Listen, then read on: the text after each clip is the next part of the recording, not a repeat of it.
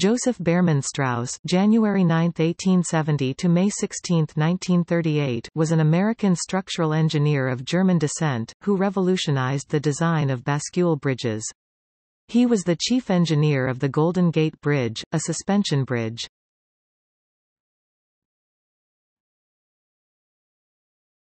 Topic. Life, beginnings and death He was born in Cincinnati, Ohio, to an artistic family of Jewish-German ancestry, having a mother who was a pianist and a father, Raphael Strauss, who was a writer and painter. His pianist mother had an unfortunate accident which ultimately ended her concert career. He graduated from the University of Cincinnati in 1892. He served as both class poet and president, and as a brother of the Sigma Alpha Epsilon fraternity. Strauss graduated with a degree in civil engineering. Joseph Strauss had many hobbies. One of these included poetry. After completion of the Golden Gate Bridge he returned to his passion of poetry and wrote his most recognizable poem, The Mighty Task is Done. He also wrote, The Redwoods, and his Sequoia can still be purchased by tourists visiting the California Redwoods. He died in Los Angeles, California, just one year after the Golden Gate's completion. His statue can be seen on the San Francisco side of the bridge. He is interred at Forest Lawn Memorial Park, Glendale, in the Great Mausoleum, Sanctuary of Meditation, Crypt 6281.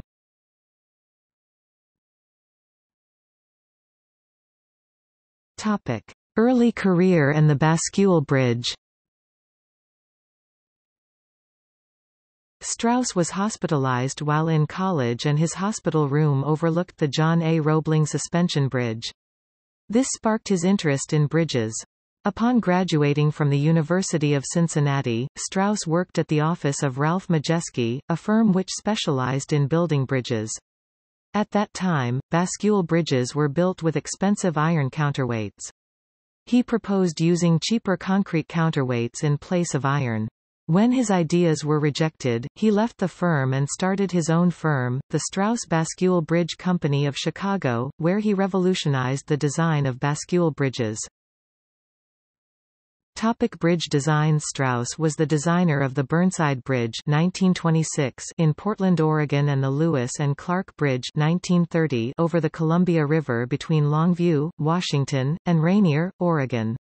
Strauss also worked with the Dominion Bridge Company in building the Cherry Street Strauss-Trunnion Bascule Bridge in Toronto, Ontario. In 1912 he designed the HB&T Railway Bascule Bridge over Buffalo Bayou in Houston, Texas now hidden under an Interstate 69 bridge in the shadow of downtown Houston. His design was also exported to Norway where Skansen Bridge is still in daily use.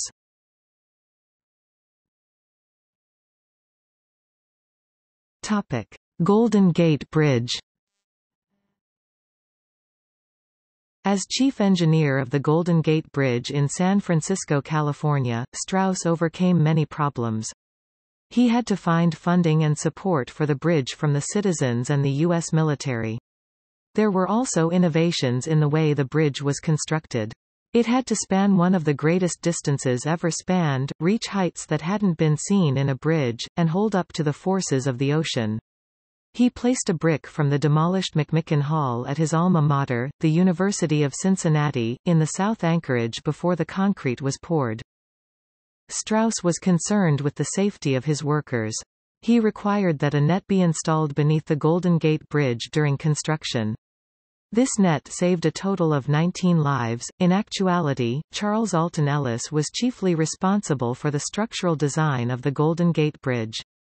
Because of a dispute with Strauss, however, Ellis was not recognized for his work when the bridge opened in 1937. A plaque honoring Ellis is set to appear in 2012 for the first time.